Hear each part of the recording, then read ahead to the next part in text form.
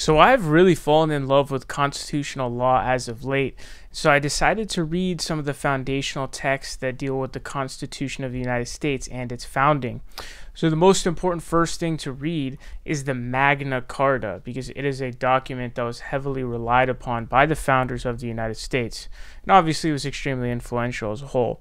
So I just read the Magna Carta and I'll be giving you a very brief summary, not an in-depth breakdown. There are actually a good amount of words in the Magna Carta that I had to look up. Some of the words like Kydells didn't even have a definition that I could find, so definitely some old British language being utilized in here. In England in the 1200s, nobles, King John and the church were all fighting each other for power.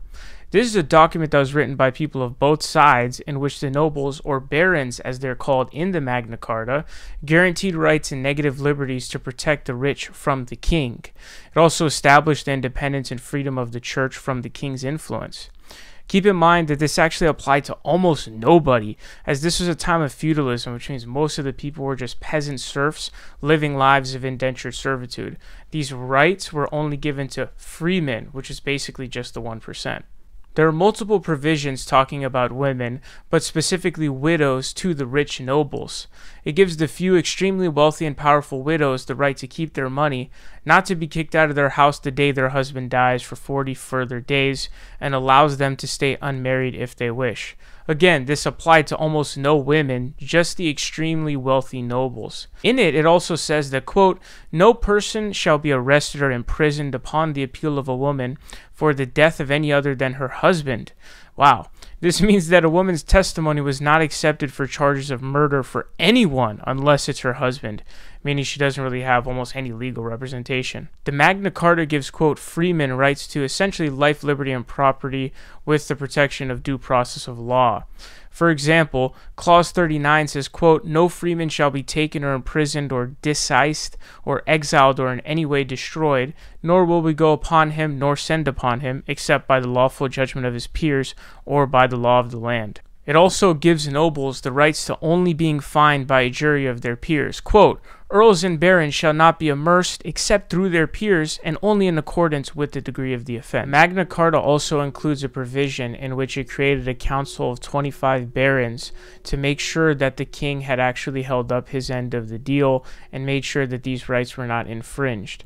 That council actually ended up turning into the Parliament of England.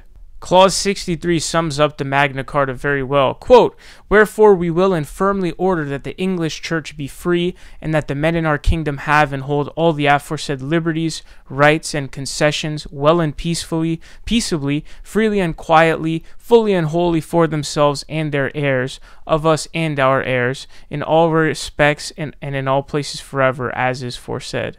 Now, why did King John sign this lessening of his power in 1215?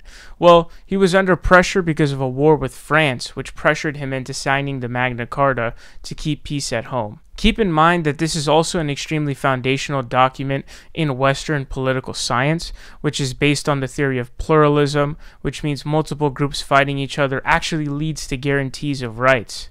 In this case, you have the nobles, the king, and the church all fighting each other, which leads to rights guarantees. Whereas in Russia, for example, Ivan the Terrible had wiped out almost all of the nobles and was able to concentrate all of their power amongst himself. And we see that autocracy is completely the core of their political culture. The Magna Carta didn't actually do much at the time, as it only applied to the nobles who were essentially just the 1%, super rich. It did nothing for the vast, vast, vast majority of people, but it set the stage for eventually the Constitution of the United States and other nations' constitutions and rights given to their peoples.